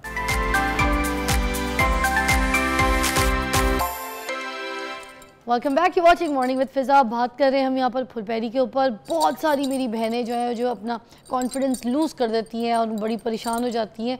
तो मैं अभी, बल्कि ब्रेक में बात कर रही थी कि मैं भी मुल्क से बाहर जब थी तो मैंने एक सेल्स मार्केटिंग की बड़ी लड़की थी। उससे मुलाकात की, उसके पास क्या स्पोर्ट्स कार ये वो ख़ुद कमा रही थी, चला रही थी। उसके साथ मेरी मीटिंग हुई तो मैं उसका कॉन्फिडेंट लेवल देख के परेशान हो गई। उसका सिर्फ़ चेहरे वाला हिस्सा छोड़ के ये जो गर्दन है, ये पूरी इधर से लेके पूरा नीचे तक मिक्सचर ऑफ़ फुलबेरी एंड देन पूरा मगरमच्छ का जो स्किन होता है ना, वो सब कुछ उसके हाथ, पैर बॉडी सब एंड उसको कोई बॉडी शेम नहीं, उसको कोई प्रॉब्लम नहीं, उसको कोई डिज़ीज़ थी या जो भी केमिकल रिएक्शन थे या कोई फुलबेरी थी, कुछ भी था, उसको कोई प्रॉब्लम नहीं थी। वो कॉन्फिडेंट थी, वो एक कामयाब लड़की थी और औरत नहीं थी, लड़की थी लड़की थी शी वॉज़ अनमेरिड और वो कमा रही थी, जी रही थी अपनी लाइफ और हम हम यहाँ पे क्या करते हैं, किसी को हो जाए तो उसको अपने घर से साइड कर देते हैं, मुँह छुपा देते हैं उसका। और तो और मैं आपको बताऊँ, रिश्ते जब देखने के लिए कोई आ जाए ना, जैसे अगर किसी बहन को ये प्रॉब्लम हो जाए तो दूसरी बहन को छुपा दिया जाता है, इसलिए कि भाई अगर इसकी शादी में रुकावट आ गई कि कल को भाई तुम्हारी फैमिली में फुलबेरी का मसला है, हमारी कल को औलाद हुई, उसको फुलबेरी हो गई तो इस इस तरह की जो मित और सोच है लोगों की, लोगों के घरों में रिश्ते इनकार करके आ जाते हैं। या फिर लड़की बहुत अच्छी पढ़ी लिखी सब कुछ होती है, थोड़ा बहुत भी उसके चेहरे पर फुलबेरी निकल आए, उसके किसी हाथ के, किसी पैच पे, और वो छुपा के ऐसे बैठी हो या कुछ करके। हो, तुमने बताया नहीं तो हाँ तुम्हें फुलबेरी है? नहीं, इस घर में शादी भाई, कल को आपका भी कोई एक्सीडेंट हो सकता है। कोई टांग, हड्डी, पुड्डी कोई टूट सकती है। इसका मतलब ये तो नहीं कि किसी को इतनी सी चीज़ पर रिजेक्ट करके आप आ जाएँ। यार कमॉन लाइफ बहुत आगे बढ़ गई है। इंसान देखें, इंसानियत देखें, ये देखें कि अंदर से इंसान का सोल कैसा है, कितना प्योर है, कितना सच्चा है, कितना कॉन्फिडेंट है भाई, और आपके लिए कितना अच्छा उसके कदम कितने मुबारक है। ना कि यार, ये छोटी छोटी पिटी चीज़ें आप देख के किसी की बेटी को रिजेक्ट कर देते हैं, या उसकी खुशियों पर पानी फेर देते हैं, या उसे घर में छुपा देते हैं, या उसको पर्दा डाल देते हैं, सामने नहीं आने देते। ये गलत करते हैं कॉन्फिडेंस ही मार देते हैं। आधी ज़िंदगी तो उसकी वहीं मर जाती है। आपने अगले को भी कॉन्फिडेंस देना है। आपने अगले को कॉन्फिडेंट करना है। बताना है कि यार इट्स ओके यार। यू लुक प्रिटी यार यू यूर कॉन्फिडेंट जैसे मैं अभी आपको जिसके बारे में बता रही हूँ, वो कामयाब लड़की थी। छुपाने की ज़रूरत नहीं है, हो गया है, मसला है। अल्लाह की तरफ़ से ट्रीटमेंट इज़ इंपॉर्टेंट डर्माटोलॉजिस्ट के पास हैं। आप जाएँ, कराएँ। बाकी अल्लाह के ऊपर छोड़ दें। जैसे डॉक्टर साहब अभी ब्रेक में बताई थी कि इसकी ट्रीटमेंट थोड़ी सी स्लो है, इतनी कोई जल्दी नहीं है। और कंफर्म ट्रीटमेंट है कि नहीं है, ये भी हम पूछ लेते हैं। मगर खैर कॉन्फिडेंट कॉन्फिडेंट रहें। कुछ भी हो सकता है लाइफ में ठीक है? इतनी इंटरनेशनल मॉडल्स हैं मैं आपको बताऊँ मैं तो क्योंकि इंटरनेशनल लेवल पे काम किया हुआ है मॉडल्स के साथ। उनमें किसी की टांग पे फुल बेरी है किसी के हाथ पे किसी के शोल्डर पे किसी के चेहरे पे। They are confident they working ऐलान की पता नहीं वो पेरिस की इतनी टॉप मॉडल है। वो जो बहुत डार्क है काली है। उसकी भी चेहरे और कान की गर्दन के साइड पे एक पैच है। She so confident she is working she is a top model उसको कोई प्रॉब्लम नहीं, वो ड्रेसिंग करती हैं, तैयार होती है हेयर स्टाइल बनाती हैं। भाई कॉन्फिडेंस की वजह से वो ज़्यादा अच्छी लगती है। मैं आपको बताऊँ, मुझसे कंजा से ज़्यादा खूबसूरत, प्यारी लगती है सिर्फ़ अपने कॉन्फिडेंस की वजह से। तो अपना कॉन्फिडेंस लेवल आपने मरने नहीं देना है। छोटी छोटी बातों पर ये कोई बात है भाई? इलाज करा ले साइड पे, मगर है तो है। जी हैं। ऐसे ही है। बिल्कुल, आपने बहुत अच्छी बात की फिज़ा। और आपकी खूबसूरती का कहते हैं 80 परसेंट आपकी पर्सनैलिटी होती है। जब आप किसी कमरे में एंटर होते हैं ना तो 20 परसेंट आपकी शक्ल काउंट करती है। लेकिन जैसे आप बात करते हैं बैठते हैं इंट्रैक्ट करते हैं वो 80 परसेंट हावी हो जाता है आपकी शक्ल के ऊपर। तो अपनी पर्सनैलिटी पे काम करें अपनी इनर स्ट्रेंथ के ऊपर काम करें तो आप देखें कि आप चाह जाएँगे। ऐसे छोटी छोटी बातों को लेके बिल्कुल साइड पे करना ये बहुत पुरानी सोच हो गई है ये दकियानुसी ख्याल हैं। इनसे छुटकारा पाएँ और बस एक्सेल करें शाइन करें। है ना? जी। क्या बात है। अच्छा इसकी ट्रीटमेंट की तरफ़ दोबारा आते हैं। अब इसमें लेज़र ट्रीटमेंट्स भी होती हैं? जी इसमें एग्जामर लेजर्स यूज़ की जाती हैं लेकिन वो बहुत कम अवेलेबल हैं बहुत महँगी लेजर्स हैं। कौन कौन से लेजर्स हैं? वो किस एग्जामर एक खास किस्म का लेज़र है एग्जामर लेज़र ये पीको लेज़र से और इन सब चीज़ों से ठीक नहीं पीको लेज़र जो है वो तो हमारा हम जहाँ मिलाजमा या पिगमेंट हो उसको उड़ाने के लिए इस्तेमाल करते हैं। ये कभी कभी टैटू वाला लेज़र है वो? वो क्यू स्विच लेज़र है तो वो भी हम जहाँ पे पिगमेंट है या काला रंग है उसको ख़त्म करने के लिए इस्तेमाल करते हैं। आ, तो यहाँ पे तो हमने एक रंग प्रोड्यूस करना ना ये तो पहले ही बिल्कुल वाइट पैच है। हम्म। तो इसके लिए ख़ास किस्म का लेज़र यूज़ होता है एग्जामिन लेज़र वो इतना फ्रीली अवेलेबल नहीं है। अगर कहीं प्राइवेट क्लिनिक्स में है भी तो इट्स वेरी एक्सपेंसिव लेज़र लेकिन अगेन इतना मतलब ऐसे नहीं है कि हंड्रेड परसेंट रिज़ल्ट आएँगे। ऐसे नहीं है। आपको मल्टीपल सेशंस लेने होंगे। कभी अच्छे रिज़ल्ट आते हैं कभी नहीं आते। क्योंकि ये आपकी इंटरनल डिज़ीज़ है ना। आपके अपना मुदाफ़ती निज़ाम जब तक चुप करके नहीं बैठेगा आपके ख़िलाफ़ रहेगा तब तक चीज़ें ठीक नहीं होती। अच्छा अब ये कि ये भी बता दें कि ये फैलता है एक से दूसरे में फैलता है क्योंकि जिसको फुलबेरी हुई होती है उसे हाथ नहीं मिलाते उसके साथ बैठते नहीं है उसके बर्तन में खाना नहीं खाते उस लड़के से शादी नहीं करते। ठीक है तो क्या ये फैलता है एक से दूसरे में? ऐसा बिल्कुल भी नहीं है। ऐसा हो ही नहीं सकता कि फुलबेरी एक से दूसरे को लग जाए क्योंकि ये इन्फेक्शियस डिज़ीज़ नहीं है इसका कोई जरसूमा नहीं है। कि ये एक से दूसरे को लगेगी मतलब एक स्किन के ऊपर एक जरासीम बैठा हुआ है और दूसरे को ट्रांसफ़र हो गया तो पुलवाई होगी ऐसा बिल्कुल भी नहीं है। मतलब ये कोरोना नहीं है। ये कोरोना नहीं है बिल्कुल भी कोरोना नहीं है। और ये बिल्कुल आपकी अपनी स्किन का निज़ाम है जो आपके ख़िलाफ़ हुआ है। ये कभी भी किसी के साथ बात करने से किसी के साथ शादी करने से किसी के साथ खाना खाने से बिल्कुल भी नहीं फैलता किसी को नहीं लगेगा।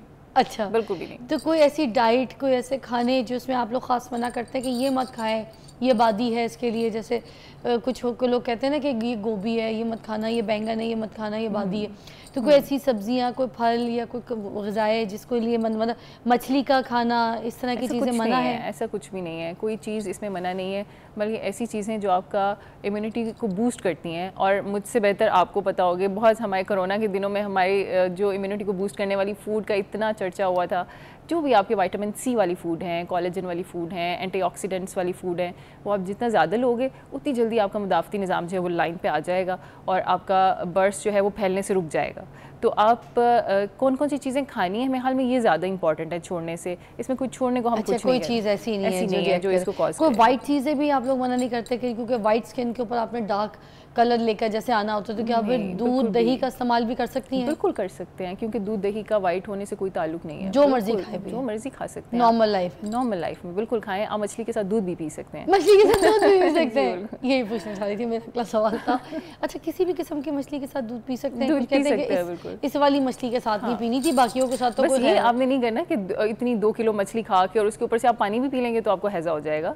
तो आपने ये अवॉइड करना थोड़ा सा डिस्टेंस रख लें कोई ज़रूरी नहीं है कि आप मछली के फ़ौरन बाद ही दूध पी हाँ, लें। क्या ज़बरदस्ती ज़बरदस्ती क्या है?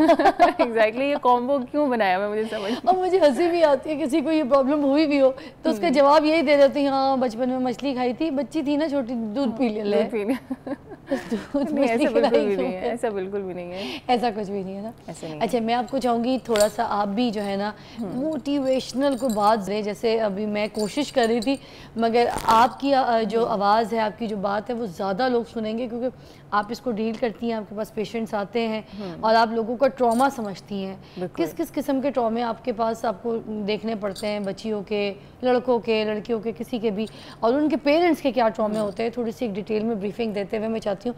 कुछ के हवाले से इसी हाँ फुलवेरी के हिसाब से कुछ मोटिवेशनल बात ज़रूर करें क्योंकि हम्म। आपको बुलाने का मकसद यही था कि ताकि जो बच्चियाँ हैं जो पेरेंट्स हैं उनमें बड़ी हौसला अफजाई और उनमें कॉन्फिडेंस जो है वो ज़रूर आए। Please over you this is your camera talk to your audience अच्छा जी सबसे पहले तो बहुत सारी बच्चियाँ आती हैं ख़ास तौर पे बच्चियों का इशू है क्योंकि हम मेल डोमिनेंट सोसाइटी में रहते हैं तो बच्चियाँ ख़ास तौर पे रोते हुए आती हैं कि जी फुलवारी होगी है शादी नहीं हो रही रिश्ता नहीं हो रहा।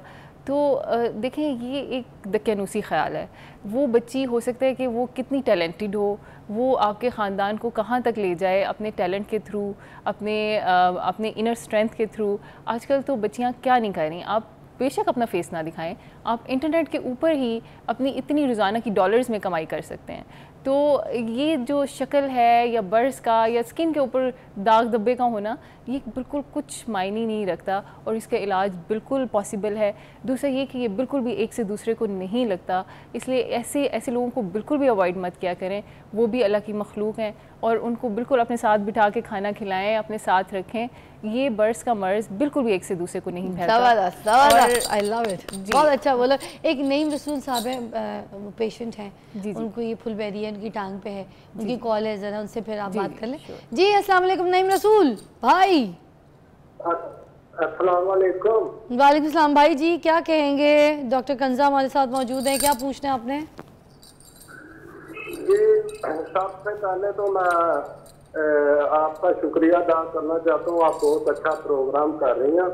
तो बहना मेरा सवाल ये है कि मेरी राइट टांग पे ना फ्लैरी है। अच्छा। तो मैं मैंने अक्सर डॉक्टर हजरात से भी मेडिसिन लिया लेकिन कोई फ़र्क नहीं पड़ा। तो आप काइंडली जो आपका गेस्ट आए हैं उनसे पूछे इसका कोई मेन हल हो सकता है या नहीं? ये आप बात कीजिए डॉक्टर कंजा आपके साथ हैं। जी कुछ पूछना है आपने प्लीज़ जी नहीं बताइएगा कि आपकी वाइफ को कहाँ है फुलवैरी और कितना बड़ा पैच है? कहाँ पे? आँख के ऊपर बोला आपने? टांग के टांग पे टांग के ऊपर। तो कितना कितनी बड़ी है? पे कितनी बड़ी है? हाथ जितनी है दो हाथ जितनी। कितना बड़ा? हथेली के पूरे हाथ के बराबर है पैच कितना बड़ा पैच है? जी राइट टांग पे है और जो मेरी सीधी टांग है ना नीचे वाली चपनी के नीचे है। अच्छा। अच्छा ठीक है बिल्कुल इसका इलाज मुमकिन है बिल्कुल इलाज मुमकिन है। अगर आप मुझे कहते हैं तो मैं बता देती हूँ। बता दे बता दे। अच्छा इसमें आपने ल्यूकोडार्मिन एक ट्यूब आती है ठीक है? ल्यूकोडार्मिन अम, अगर आप कहेंगे तो हम आपको भेज भी देंगे बाद में लिख के। अ, आप हम ये रील अपलोड करेंगे सोशल मीडिया पे उसमें खास तौर पे देख लीजिएगा हम नीचे लिख भी देंगे। लिखो जर्मन ल्यूकोडार्मिन ट्यूब होती है वो आपने लगानी है इस इफेक्टेड एरिया पे। जहाँ पे भी फुलवेरी है वहाँ पे लगा लें। लेकिन वो कब लगानी है? असर की नमाज़ पढ़ के। जब सूरज थोड़ा सा हल्का हो जाता है और गरूब होने के करीब होता है तो ये दवाई लगा के बिल्कुल हल्की सी लेयर सिर्फ़ तीन मिनट के लिए घड़ी पास रख लेनी है और तीन मिनट का टाइम नोट कर लेना है और ये लगा के तीन मिनट के लिए धूप के सामने बैठ जाना है और आपकी स्किन जो है वो धूप की तरफ़ होनी चाहिए ठीक है? तीन मिनट के बाद अ, उठ जाना है वॉश कर लेना है और बस फिर उसको वेजलिन से कवर कर देना है ठीक है? हर रोज़ आपने इसको पाँच पाँच या दस दस सेकेंड बढ़ाते जाएँ। इससे ज़्यादा बिल्कुल भी नहीं बढ़ाना। मतलब पहले दिन अगर तीन मिनट था तो फिर तीन मिनट, दस सेकेंड, अगले दिन होगा, फिर उससे अगले दिन तीन मिनट, बीस सेकेंड कर लें, फिर उससे अगले दिन तीन मिनट, तीस सेकेंड कर लें। इस तरह बढ़ाते जाएँ बढ़ाते जाएँ, इससे ज़्यादा बिल्कुल भी नहीं बैठना, नहीं तो स्किन जल जाएगी। तो आप देखेंगे कि इन एक महीने के अंदर अंदर उस पैच में रंग वापस आना शुरू हो जाएगा। कितनी अच्छी टिप दी है। और ये आप भी इस्तेमाल कीजिएगा, इस सोशल मीडिया पे हम रील अपलोड खास तौर पे करेंगे विद द नेम जो मेडिसिन उन्होंने बताई है जिस तरीके का तरीका बताया, वैसी एक ब्रेक के बाद मिलते हैं।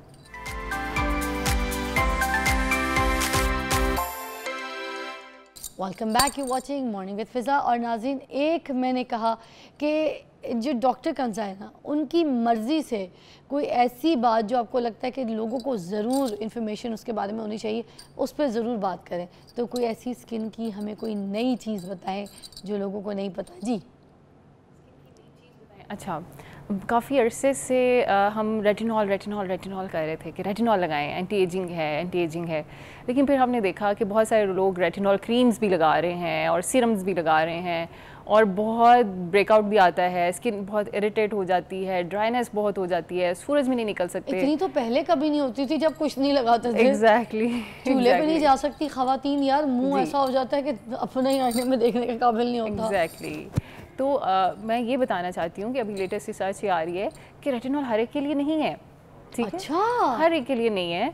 हाँ एंटी एजिंग प्रॉपर्टीज़ हैं लेकिन अगर एक पर्सन लगा रहा है और उसकी स्किन इरिटेट हो रही है तो इसका मतलब है उसकी स्किन डैमेज हो रही है ठीक अच्छा। है तो उसको पेप्टाइड्स की तरफ़ जाना चाहिए ठीक है? पेप्टाइड्स पेप्टाइड्स पेप्टाइड्स जो हैं वो न्यू रेटिनॉल समझ लें कि वो भी एंटी एजिंग है आपकी स्किन को मॉइस्चराइज रखते हैं आपकी स्किन का ख्याल रखते हैं एंटी एजिंग भी बहुत अच्छी हैं लेकिन बिल्कुल माइल्ड हैं। ऐसे लगते हैं जैसे जस्ट मॉइस्चराइजर लगाया हुआ है। इरीटेट नहीं करेंगे। इरिटेट नहीं करेंगे बिल्कुल भी नहीं। वो बिल्कुल प्रोटीन पार्टिकल्स हैं और पेप्टाइड्स हैं तो अब पेप्टाइड्स के सीरम्स या उसकी क्रीम्स अपनी डेली रूटीन में शामिल करें और देखें जिन लोगों को रेटिनॉल से इरीटेशन होती है या जिनकी स्किन फट जाती है या स्केलिंग होना शुरू हो जाती है रेड हो जाती है तो वो पेप्टाइड्स की तरफ़ आएँ। बल्कि मैं आपको बताऊँ नहीं भी होना शुरू होती है। देखिए खातन तो किचन में जाना उनका ज़रूरी है।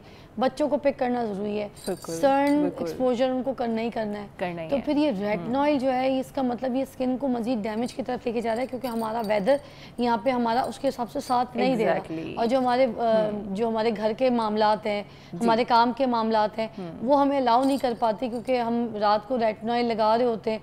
सुबह उठते हैं हम चूल्हे पे जाते हैं तो वो स्किन जो। है ना वो रात भर जो एक काम कर रही होती है अपने उसके ऊपर सर्विस सरफेस के ऊपर जो एक रेटनॉइल लगता है वो चूल्हे पे जाके उधर बर्न कर देती है स्किन को। बिल्कुल बिल्कुल तो ना। सनब्लॉक काम करता है ना कुछ ये तो इसका मतलब है अगर आपकी स्किन रेटिनॉल बिल्कुल बहुत अच्छी प्रोडक्ट है हम बिल्कुल भी इसको निगेट नहीं कर रहे। ठीक है। रेटिनॉल बहुत अच्छी प्रोडक्ट है उसकी एंटी एजिंग प्रॉपर्टीज़ बहुत अच्छी हैं। लेकिन अगर आपको सूट नहीं कर रहा तो आप मत लगाएँ उसको।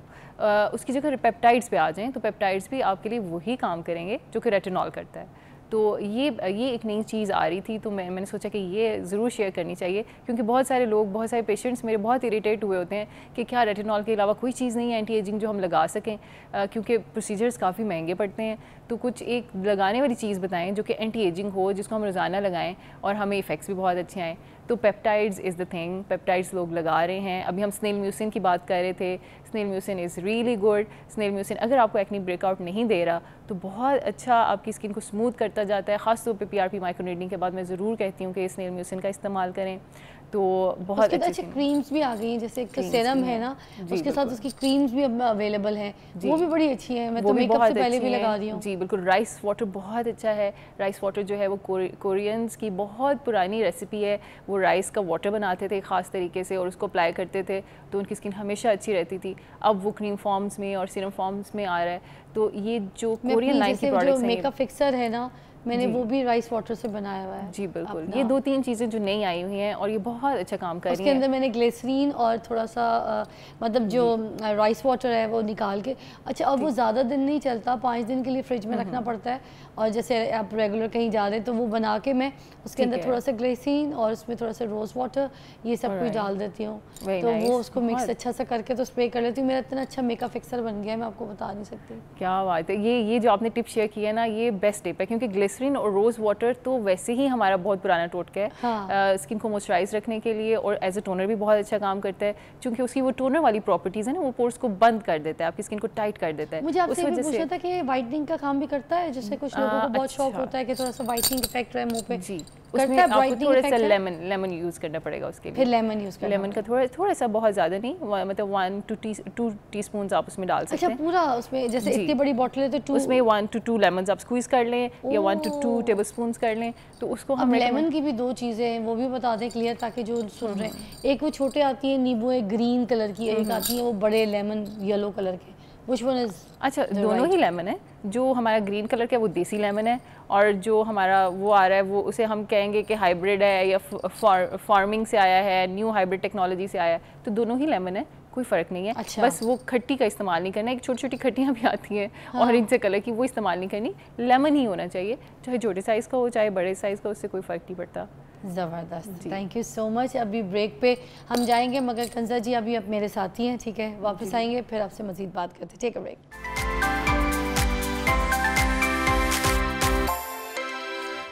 वेलकम बैक आप देख रहे हैं मॉर्निंग विद फ़िज़ा हमारे पास डॉक्टर कंजा मौजूद है। एक सवाल करना चाह रही थी मैं कि बहुत से लोग इस्तेमाल करते हैं वो जो सूडो क्रीम होती है ना तो मैं भी बच्ची की नैपी वाले टाइम पे इस्तेमाल कर लिया करती थी अपने गालों पे ना तो बड़े गाल मेरे पिंक पिंक साफ़ वाइट जैसे बिल्कुल ही सॉफ्ट नरम मुलायम भी हो जाते थे।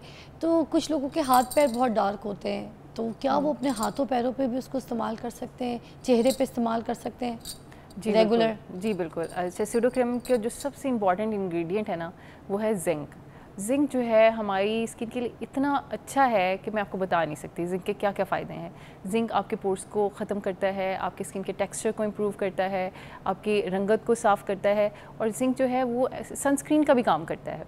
लेकिन इसका एक जो बहुत अच्छा हैक है जो मैं शेयर करना चाहती हूँ सबसे वो ये है कि पाँव की जो सख्तपन है या पाँव अगर आपके थोड़े से डार्क हैं बाकी बॉडी टाइ, स्किन टाइप से आपकी तो उसका एक बहुत अच्छा हैक है कि अगर आप इसको डेली रात को करेंगे तो मेरा ख्याल है कि अगले दिन से ही आपके पाँव बिल्कुल वाइट सॉफ्ट नरम मुलायम हो जाएँगे। फॉरन नेक्स्ट डे प्लीज़ बताइए ना। अच्छा सबसे पहले आपने क्या करना है कि अपने पाँव अच्छे से किसी स्क्रबर से जैसे भी आप पाँव को साफ़ करते हैं झावा ले लें और थोड़ा सा साबुन लगा ऊपर का सरफेस भी और नीचे का नीचे का खासों पर नीचे का हल्का सा ऊपर का भी करेंगे। अच्छा ठीक है। किसी भी स्क्रबर से आप स्क्रब भी यूज़ कर सकते हैं आप झावा भी आप अपना लूफा भी यूज़ कर सकते हैं ठीक है? उसको अच्छे से क्लियर कर लें और उसके बाद क्लिंग फ़िल्म होती है एक वाइट कैरोसिन ऑयल की फ़िल्म होती है जिसे हम अपने डोंगे ढांपते हैं। जी किचन में। किचन में बिल्कुल ट्रांसपेरेंट होती है तो वो ले लें साथ। अपने पाँव के ऊपर आपने ज़्यादा सारी सूडो क्रीम लेनी है, हाथ के ऊपर और पाँव के ऊपर लगा लेनी है। नीचे भी सारा और ऊपर भी। ठीक है। दोनों साफेसिस के ऊपर। और फिर क्लिंग फ़िल्म से उसको जैसे मास्क है मास्क की तरीके की लेयर बनानी है हाँ। या बस उसको मसाज करनी है और मल देना नहीं नहीं मसाज नहीं करना। अच्छा, आपने अच्छा। उसके ऊपर नज़र आनी चाहिए। व्हाइट लेयर अच्छा। लगी हुई आपको पतली मास्क वाली लेयर लगानी पतली मास्क वाली लेयर लगा लें। ऊपर नीचे खासतौर पर एड़ियों वाली जगह पे जहाँ पे आपको लगता है थोड़ी सख्ती ज़्यादा जी, है जी। तो वहाँ पे लगा लें और उसके बाद रैप कर लें। रैप करके उसे ओवरनाइट उसी शीट से? उसी शीट से। उस शीट से। पहले आपने क्रीम लगाई फिर शीट को नीचे रखा हुआ था ना वो आपने रैप कर दिया अच्छा ठीक है? अब रैप करके आपने ओवरनाइट उसको ऐसे ही रहने देना है। ठीक है? अगर गर्मियों में आप इसको नहीं कर सकते तो सर्दियों में बड़ा बेस्ट तरीका है कि आप इसको रैप करके ओवरनाइट ऊपर से अपना मोज़ा चढ़ा लें। और पैर दोनों। हाथ और पैर दोनों। अच्छा ठीक है और सर्दियाँ हाँ। हैं। तो मोज़ा चढ़ा लें ताकि वो वहीं पे रहे और खिसके नहीं वाह। तो आप देखेंगे कि वेरी नेक्स्ट डे आपके पाँव बिल्कुल नरम मुलायम सख्ती ख़त्म हो चुकी होगी उनका कलर एकदम से चेंज हो जाएगा और आपको इतना पसंद आएगा कि आप इसे लॉन्ग टर्म करते रहोगे। आपको मेरी शक्ल बता रही होगी कि मैं कितनी इंप्रेस हुई इस बात से और मैं अभी जाते के साथ ये हरकत करने लगी। जी बिल्कुल ये ज़रूर करें और सोडा क्रीम हर हर घर में होती है जिस घर में बच्चे हाँ। कभी थे और या हैं वहाँ पर सोडा क्रीम ज़रूर होती है इसको आप नेपी रैश के लिए इस्तेमाल करते हैं। कितनी जल्दी आ रही है मगर कितनी टिप है ये तो मैं जाके इस्तेमाल करने लगी क्योंकि मैं खुद अपने हाथों पैरों से इतनी परेशान हूँ यकीन कीजिए। बाकियों का मुझे नहीं पता मगर मैं खुद बहुत ज़्यादा परेशान हूँ। मेरी सबसे ज़्यादा अगर कोई चीज़ डार्क होती है मेरी ये पोर्ट डार्क हो जाती है क्योंकि आई कुक माई सेल्फ तो मुझे कुकिंग की वजह से मुझे हीट पड़ती है सबसे ज़्यादा डार्क हो जाता है मेरे। ड्राई बॉडी है ड्राई बॉडी की वजह से मेरे पाँव का जो ये ऊपर वाला सरफेस है ये डार्क हो जाता है। ओपन सैंडल्स पहनने की वजह से भी इन ऑल दैट तो मैं बताऊँ ये इतनी झकास टिप आज उन्होंने दे दी है। ट्राई दिस आउट और आपने एक टिप मैंने जैसे उन्होंने कहा ना कि जैसे ही आप इसको इस्तेमाल करते हैं तो नेक्स्ट डे ही आपको रिज़ल्ट मिलना शुरू हो जाएगा। तो चीज़ वही बतानी चाहिए जिसके कोई नुकसान ना हो। जैसे आपने अभी इतनी अच्छी हमें टिप बताई है सॉफ्ट हो जाएँगे, पाँव खूबसूरत हो जाएँगे, नरम मुलायम हो जाएँगे, हसीन हो जाएँगे। और सबसे बड़ी बात कि जो आपका पाँव का ऊपर का और नीचे का जो सरफेस हार्ड हो जाता है एज़ पर डॉक्टर कंजा के, वो सॉफ्ट एंड मुलायम हो जाएगा। So that's what I want तो मैं चाहती हूँ मेरे हाथ पर फराल जैसे हो जाएँ। मिलती हूँ आपको। कल के शो में आप अपना जो है ना, ये तैयारी कीजिए, आज सोडो क्रीम लेकर आइए और लगाइए, इसका कोई साइड इफ़ेक्ट जिंका जिंका जिंका कह रही है। Try this out see you tomorrow thank you so much bye bye